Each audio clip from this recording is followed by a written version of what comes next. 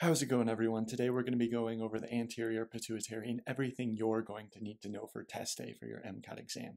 So, first, what is the anterior pituitary? It's this part of the brain right here that's connected through what we call an infundibulum. Infundibulum, or pituitary stalk is another way to say that, to the hypothalamus, which is a more superior part of the brain. And the way that the hypothalamus and the anterior pituitary are connected is by vasculature. More specifically, this is called a hypophyseal portal system.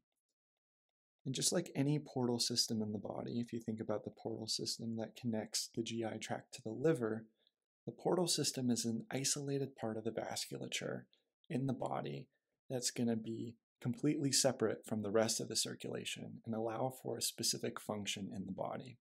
And that specific function, in this case, is the hypothalamus creating what we call trophic hormones that are going to act to release or cause stimulation of the release of other hormones. And those trophic hormones from the hypothalamus are going to act on the anterior pituitary and the anterior pituitary will, will release its own hormones, which are also trophic hormones, which are going to act on target organs, which are going to release their own hormones. So it's sort of this cascade of the hypothalamus releases a hormone, which stimulates the release of another hormone from the anterior pituitary, which stimulates the release of hormones from the target organs. So, how are we going to memorize all these organs? Well, the name of the game in the MCAT is to use mnemonics. And the best mnemonic is flat peg. Flat peg actually is the mnemonic here. They put an E between the P and the G, but that stands for endorphins, which isn't really high yield on the MCAT. So F stands for FSH. This is follicle stimulating hormone. So this is a hormone secreted from the anterior pituitary. And then LH is a luteinizing hormone. And both of these are going to be stimulated to be synthesized and released from the anterior pituitary by a hormone from the hypothalamus called gonadotropin releasing hormone. So, gonadotropin refers to the gonads, so the ovaries and testes, that FSH and LH are eventually going to act on. So, FSH and LH are going to act on the ovaries and testes in females and males, respectively. Next, we're going to have A for ACTH, adrenocorticotropic hormone. This is going to be stimulated to be released by corticotropic releasing hormone. And ACTH will act on the adrenal cortex, actually all three layers, but primarily the zona fasciculata, to secrete cortisol from that adrenal cortex. The T stands for TSH, or thyroid stimulating hormone. That's going to be stimulated to be released by TRH, or thyrotropin releasing hormone. So TSH will act on the thyroid to release our thyroid hormone, T3 and T4. P stands for prolactin. As the name would suggest, it acts on the mammary tissue to stimulate milk production. Now, what's interesting about prolactin is that it's actually inhibited by dopamine. So, drugs that are going to block dopamine are actually going to increase the amount of prolactin that we have, and that's something they could potentially test you on. Now, G is going to stand for growth hormone, and then that's going to be stimulated to be secreted by GHRH, or growth hormone releasing hormone. And growth hormone acts on a couple different tissues. It's going to act primarily on the liver, though, to release something called insulin like growth factor 1. So let's go over some of the other hormones that these target organs are going to produce. So going back to the ovaries and testes here, these are going to release some of the sex hormones such as testosterone and estrogen the adrenal cortex, that's primarily going to be cortisol. Thyroid will produce thyroid hormone, primarily in the form of T3 and T4. You don't need to know the specifics of that. The mammary tissue is going to produce breast milk, and the liver is going to produce insulin like growth factor 1. All right, next let's jump into some practice problems. For each of these, I want you to pause the video and try it on your own before I jump into the explanation. So first, we're going to go over follicle stimulating hormone that promotes the growth of the endometrium of the uterus during the follicular phase of the menstrual cycle. Which of the following best describes a class of hormone that stimulates the secretion of FSH? So if we remember the hormone axis that we drew before, the hypothalamus is going to be releasing gonadotropin releasing hormone that stimulates FSH. And we have to ask ourselves, what is gonadotropin releasing hormone? What class of hormone is it? Is it going to be a peptide hormone? Is it going to be a steroid hormone? Is it going to be catecholamine, thyroid hormone, etc.? Eicosanoid is a little lower yield for the MCAT. The two most common types of hormones that they're going to test are peptide and steroid hormones, and almost invariably, the trophic hormones released from the hypothalamus and the anterior pituitary, as well as the posterior pituitary, are going to be peptide hormones. And what's a peptide hormone? Just a fancy name for a protein. So these are going to be made up of amino acids. Steroid hormones are more things like the estrogen and testosterone that FSH is going to cause secretion and synthesis of in the uh, ovaries and testes. Catecholamines, are three main examples, are going to be dopamine, norepinephrine, also known as noradrenaline, and epinephrine, also known as adrenaline.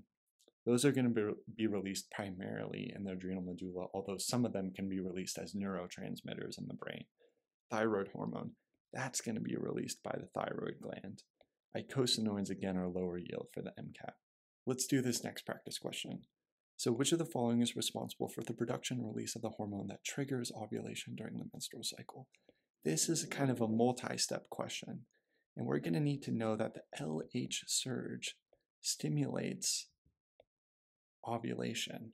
And that's going to be something that you learn in the reproductive section of the MCAT. And so we need to know where LH is going to be secreted from.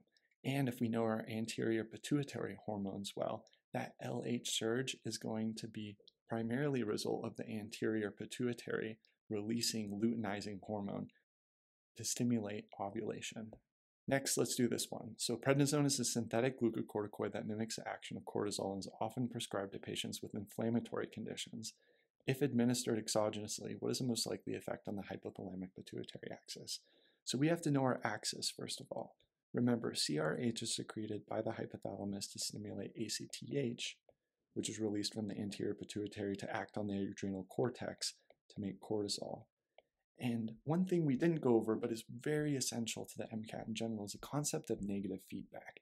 So if we have a high level of cortisol, that cortisol is going to go back and inhibit not only ACTH, but also CRH.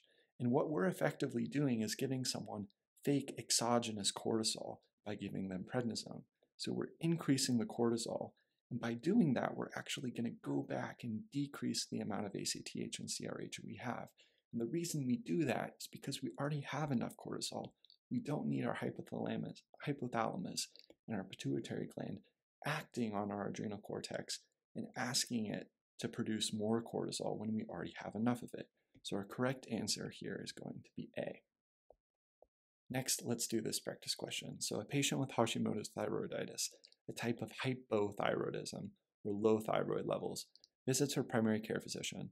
Upon review of her most recent lab results, the physician notices the patient's TSH is 8.4 when the normal range is about 0.4 to 4.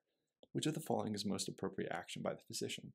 So we have to draw out our axis. TRH is released by the hypothalamus, which causes the secretion of TSH from the anterior pituitary, which acts on the thyroid gland to create T3 and T4. Now, patients with Hashimoto's thyroiditis, they have a problem with their thyroid gland. So basically, we're not having enough thyroid hormone. So we have a reduced amount of thyroid hormone. That's what the problem is fundamentally in hypothyroidism. As a result, we're not getting that negative feedback like we saw in the last problem.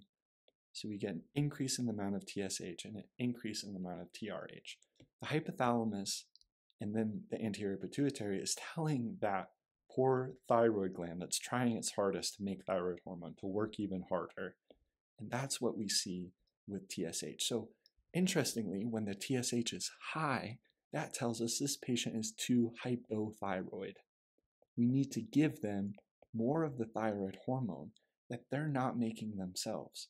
So high TSH actually means someone is hypothyroid.